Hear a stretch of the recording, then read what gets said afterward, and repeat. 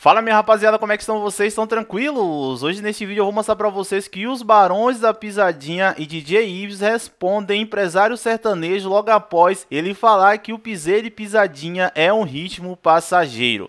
Vem entender este caso, mas antes do assunto eu gostaria de pedir pra você que tá chegando aqui agora, primeiramente seja bem-vindo ao nosso humilde canal, não se esqueça de se inscrever, ativar o sininho de notificações e deixar o seu like para você se lembrar toda vez que eu postar conteúdos novos aqui. Eu tô me esforçando o máximo para trazer bons conteúdos para vocês diariamente, então por isso que é muito bom você se inscrever, deixar o seu like aí para dar essa força pra gente. Lembrando a todos vocês que este é um canal de entretenimento onde eu trago notícias, polêmicas, histórias, curiosidades e muito mais, por isso que é muito bom, então sinta-se à vontade aqui em nosso canal. Pois é, rapaziada, mais cedo eu trouxe um vídeo aqui no canal falando sobre o piseiro e o sertanejo. Para vocês que não sabem, o G1, um dos principais sites da Rede Globo, acabou fazendo uma reportagem falando que o sertanejo perdeu espaço para o piseiro e para o funk. Perdeu mais ainda foi para o Piseiro, como vocês sabem aí, o Piseiro está comandando as plataformas digitais. E DJ os Barões da Pisadinha, Zé Vaqueiro são os grandes responsáveis por isso acontecer. E esses caras que estão levando a nossa música nordestina para todo o Brasil e para fora do Brasil também. Porém, com isso que eles estão fazendo somente com um teclado e um notebook não está agradando muitas pessoas. Como vocês sabem, recentemente eu já trouxe vídeos aqui é, falando sobre McFly, que ele é contra essa. Ele não é que ele é contra esse negócio do, do, do teclado, é que ele não acha de acordo algumas coisas que vem acontecendo dentro do forró. E justamente essa parada do teclado, onde tem cantores que, que praticamente mandaram seus músicos embora só pra estar tá tocando ali teclado. E essa treta rolou pra caramba. E agora essa treta está de volta. Mas dessa vez com o empresário e dono da Walk Show. Como vocês sabem, a Walk Show toma conta da carreira de Marília Mendonça, Henrique Juliano, Zé Neto e Cristiano Marai Maraísa, entre outros cantores. Mais cedo eu trouxe essa reportagem onde o empresário acabou falando que a pisadinha e o piseiro é um gênero aí muito passageiro que não veio para ficar.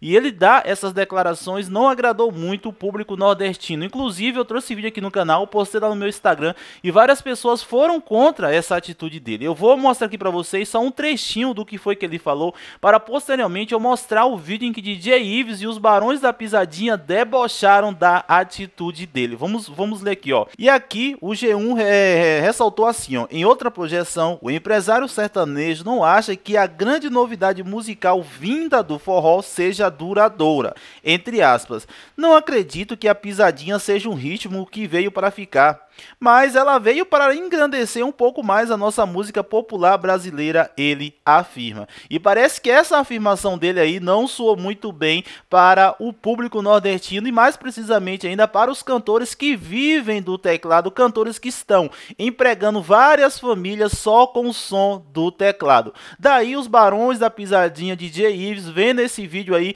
vendo várias publicações que saíram na internet, eu postei isso aqui no, no canal, o canal TV Monserta sertanejo também do meu parceiro Miller, também foi lá, postou e várias outras pessoas, e eles não gostaram muito bem disso e deixou este vídeo aqui lá nos seus stories. Vamos ver. É. Estavam falando mal, mal, de nós, viu, DJ? Falando, falando que a pisadinha vai passar. O que, que você tem a dizer? Compre do, do flex, que a cabeça vai doer muito ainda. Muito hipoglós. Nós estamos passando com tudo. Chama. Diferente do que o cara que postou lá acha que nós não trabalhamos, nós trabalhamos, mas nós não é preguiçoso não aqui, né? Não cai do céu não, viu? Só cai do céu é água. Hum. De vez em quando. Pois é, rapaziada, como vocês viram aí, os Barões da Pisadinha e DJ Ives meio que debochando dessa aí, dessa fala do empresário da Walk Show. E aí, rapaziada, o que é que vocês acham disso? Gente, eu acho assim, que todo mundo tem o seu momento. O sertanejo teve o seu momento, a rochadeira baiana teve o seu momento, é, o batidão teve o seu momento, o brega funk, o arrocha, todos os gêneros têm o seu momento. Eu acho que assim, se houvesse um respeito de ambas as partes, de um gênero com outro, acho que todo mundo saia beneficiado nessa parte.